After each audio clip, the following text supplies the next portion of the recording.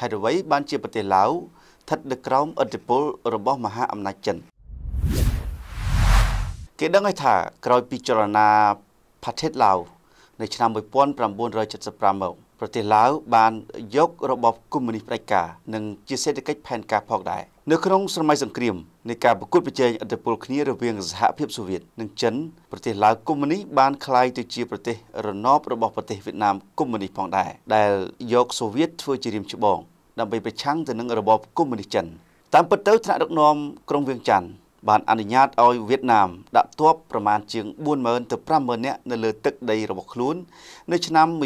1975រហូតដល់ពាក់កណ្ដាលទសវត្សរ៍ឆ្នាំទី80គេដឹងហើយថាតាំងពីឆ្នាំ1986មកប្រទេសឡាវបានយកគំរូតាមរបបកុម្មុយនីសវៀតណាមនិងបានកំពុងតែធ្វើកំណែតម្រង់ដោយបានលះបង់ចោលជាបណ្ដាបណ្ដានៅសេដ្ឋកិច្ចផែនការ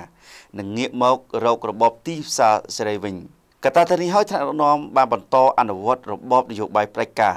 គ្រប់គ្រងដោយគណៈបកតែមួយគត់គឺបកបដិវត្តផាថេតឡាវជាក់ស្ដែងគេដឹងទៀតថានៅក្នុងសភាពការបច្ចុប្បន្ននេះតំណាងរាស្ត្រទាំងអស់លើកលែងតែ4នាក់ចេញសុទ្ធតែជាសមាជិករបស់បកកុម្មុយនីសទាំងអស់ស្ថិតនៅក្នុងកណ្ដាប់ដៃនៃអធិបុលរបស់ពួកកុម្មុយនីស ដែលគ្រប់គ្រងនៅគៀនកោះនៃសង្គមរបស់ប្រទេសឡាវតាមរយៈអង្គការផ្សេងផ្សេងរួមមានជាអាចរណសេសហព័ន្ធសហជីពសហភាពយុវជនបដិវត្តនិងសហភាពនារីបដិវត្តជាដើមហេតុដូច្នេះហើយគ្មានទេ គឺក្រមពួកប្រឆាំងនៅលើឆាកនយោបាយដែលពួកគេគ្មានសិទ្ធិសេរីភាពដោយសេរីភាពសារព័ត៌មានជាដើមប្រទេសឡាវមានកំណើនសេដ្ឋកិច្ចល្អនារយៈពេលជាង10ឆ្នាំចុងក្រោយនេះ គឺប្រមាណ6ឬ7%ក្នុងមួយឆ្នាំ ដែលបានកើនឡើងរហូតដល់8%ឯណោះនៅឆ្នាំ2012ដោយសារតែគម្រោងធំធំមួយចំនួននៅក្នុងប្រទេសឡាវមានដូចជាវិស័យវារីអគ្គិសនីសេវាទេសចរដឹកជញ្ជូននិងរាយជាដើមប្រទេសឡាវបានក្លាយជាសមាជិកអង្គការពាណិជ្ជកម្មពិភពលោកនៅឆ្នាំ2013ក៏ប៉ុន្តែប្រទេសមួយនេះនៅតែជួបបញ្ហាភាពក្រីក្រ ក្រីក្រជាងគេបង្អស់នៅក្នុងភូមិសាស្ត្រនៃតំបន់អាស៊ីអាគ្នេយ៍ ជាទូទៅគេដឹងហើយថាការអភិវឌ្ឍមានលក្ខណៈយឺតយ៉ាវដោយសារតែកង្វះធនធានមនុស្សនិងហេដ្ឋារចនាសម្ព័ន្ធជាដើមនៅរយៈពេលចុងក្រោយនេះប្រទេសឡាវហាក់បីដូចជាកំពុងតែបន្តរើបំប្រាស់ខ្លួនចេញពីមនុស្សកុម្មុយជាកុម្មុយនីពលគឺលោកប៊ូអាស៊ុនផូផាវ៉ាន់ដែលជានាយករដ្ឋមន្ត្រីពីឆ្នាំ2006ដល់ឆ្នាំ2010បានប្រកាសឥតលាក់លៀមថាលែងត្រូវការទៀតហើយនៅទ្រឹស្ដីម៉ាក់លេនីន ដោយគេដឹងថាប្រទេសឡាវត្រូវតែអនុវត្តមនុស្សកុម្មុយជាថ្មី ដែលសមស្របទៅតាមកលៈទេសៈនាសតវត្សទី21នោះគឺមនោគមវិជ្ជាសាច់ការនិយម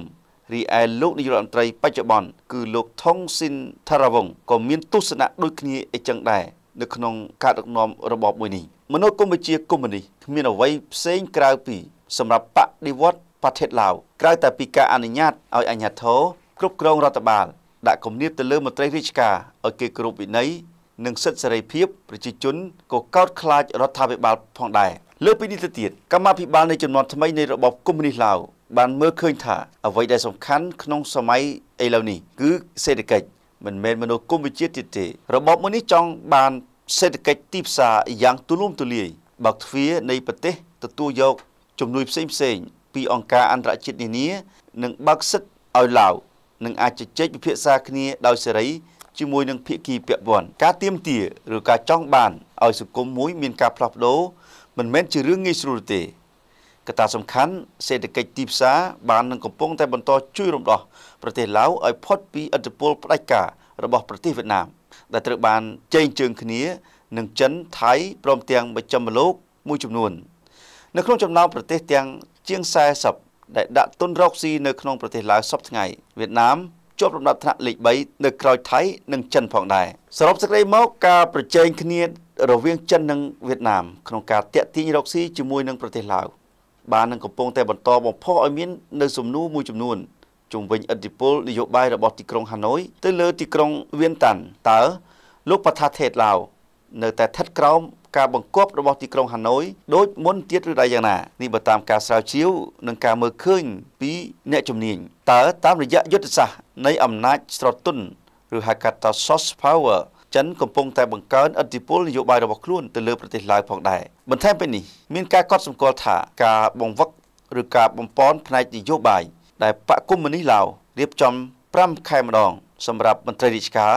និងដែលពីដើមមកគេតែងតែឃើញការប្រព្រឹត្តទៅនៅទីក្រុងហាណូយ ឥឡូវនេះត្រូវលើកទៅធ្វើនៅប្រទេសចិនវិញម្ដង នៅទីក្រុងគូនមីងក្នុងខេត្តយូណាន ដែលជាប់នឹងព្រំប្រទល់ខាងជើងនៃប្រទេសឡាវ Daily ខ្មែរដំណឹងឆ្ពោះទៅវឌ្ឍនភាព